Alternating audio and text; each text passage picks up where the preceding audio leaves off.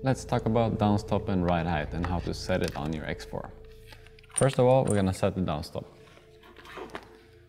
Put a car on 10 millimeter uh, support blocks from Hudy, and then we're gonna use the, the fine stepped Hudy downstop gauge to set the downstop.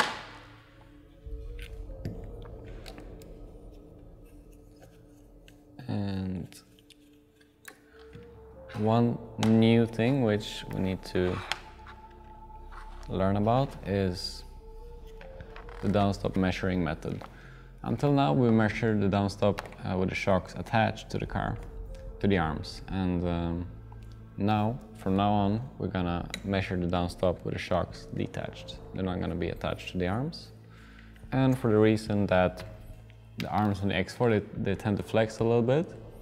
And it's just a more consistent way to check the downstop with the shocks not being attached to the arms. So that's what we're gonna do. From now on, that's the team standard that um, I recommend that you'll follow if you want to, to use the same setups as the team drivers. So the shocks are uh, detached and we can check the downstop value now. So now the point of the arm which we're looking for is the, the point right under the, the upright. So at the outer edge of the arm, we slide the, right, the downstop gauge underneath the arm. We're gonna set the downstop now to be uh, 4-6 in the rear. So a good basic setting, 4-6.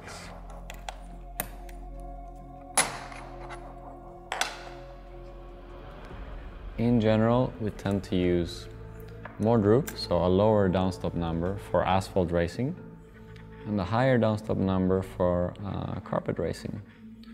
For carpet, we, we can use a value of 6 in the front, 5 in the rear, or sometimes a bit more, like now. I'm gonna set this to 5, 6 in the front and 4, 6 in the rear. And um, on carpet, normally we want the car to have a bit less roll, that's why we use a higher downstop number. And we also often play with the relation between the front and rear downstop. For example, we can use less in the front, more in the rear to give the car more off-power steering. Or the other way around, we can use less in the rear to make the car more stable going into the corner. And increase the front droop with a lower downstop number to give the car more steering on corner exit and also in the middle of the corner. So it's always a balance between the front and rear that we play with.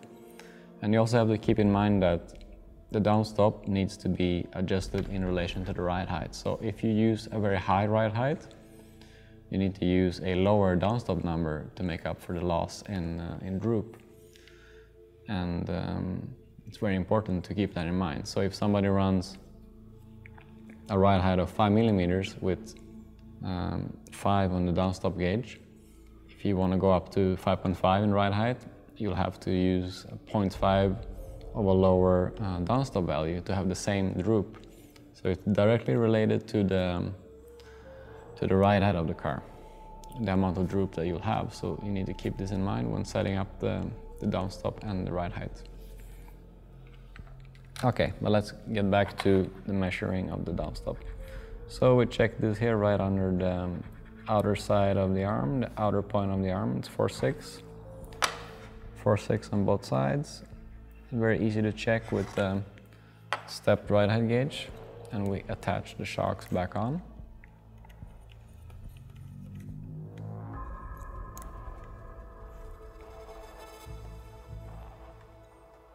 That's done. I'm going to do the same in the front. And I'm going to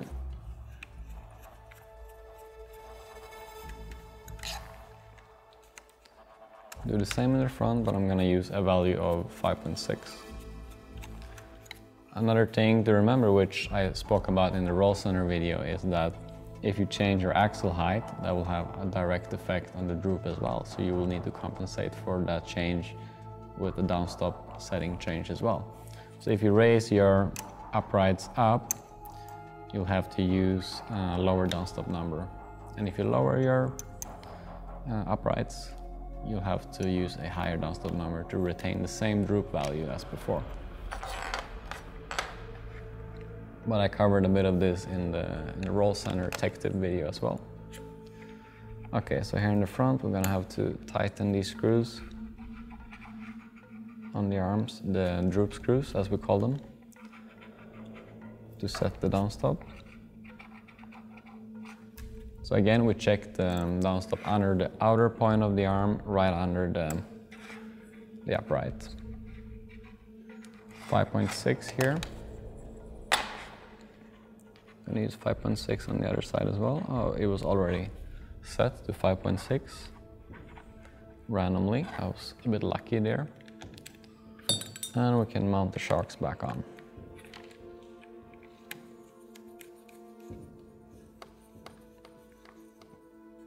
So always check the downstop without the shocks attached.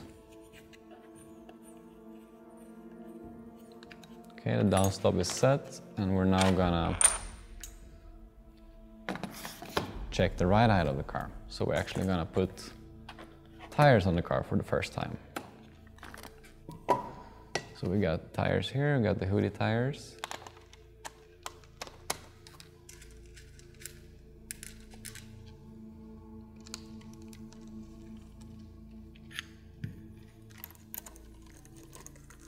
to put on the car with the included nuts.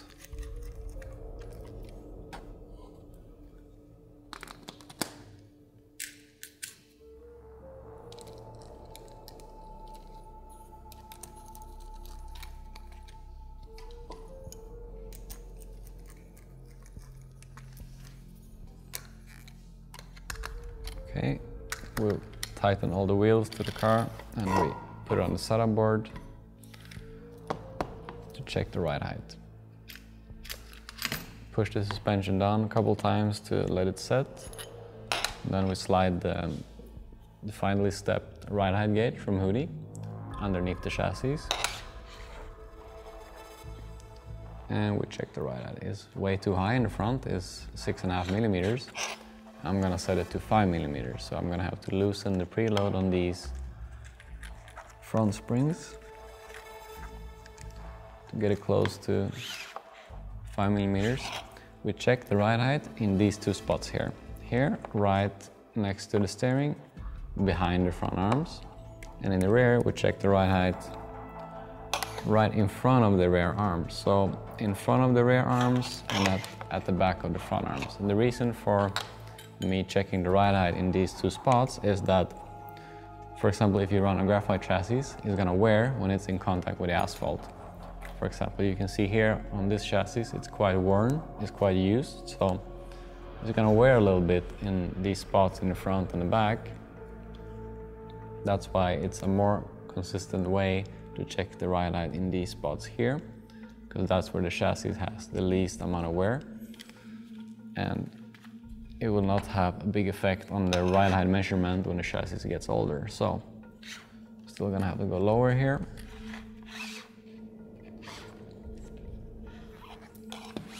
also in the rear.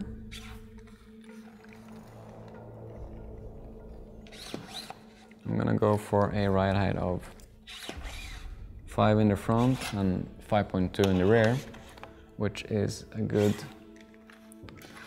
basic setting for flat tracks with no bumps and no bankings. If you run on tracks which are bumpy or that have uh, bankings, banked corners, where the chassis is touching a lot, I recommend using a higher ride height. You can use as high as 5'4", 5'6", 5, 5'6", 5'8", in that range. But we always run a 0.2 stagger between the front and rear ride height. So we always keep the front uh, 0.2 lower than the rear. The car just drives the best like that. But a good basic setting for flat tracks is 5 in the front and 5.2 in the rear. Okay, now we're getting somewhere. The last, uh, the last thing I'm gonna do is I'm gonna check the, the preload on the springs to see if it's similar between, between left and right. So in this case, it's very similar, it's 1.9, 1.7, it's almost the same. I'm gonna check the same in the front. It's 1.8. And that's 1.8 as well. So what I'm checking here is the, the gap between the, the nut on the shock and the top shock cap. So basically what I'm measuring is the preload on the spring. It's the distance between the top cap and the nut on the shock body to preload the spring. So this should, um, in the best of uh, worlds, it should be the same left and right. Ideally, it should be the same left and right, but it's not always the same because uh, not everything is, is that perfect on the car. I mean, the springs can have some imperfections in between them. Uh, the rest of the suspension can have some play or for whichever reason, you may need to use a little bit different preload left and right to get the exact same ride height. Can also be affected by the weight balance and things like that. So we're gonna talk a bit, a bit more about this in the next tech tip, which is the chassis tweak. But the ride height is set and um, the downstop as well. And I think we're ready to, to check the chassis tweak on the car now.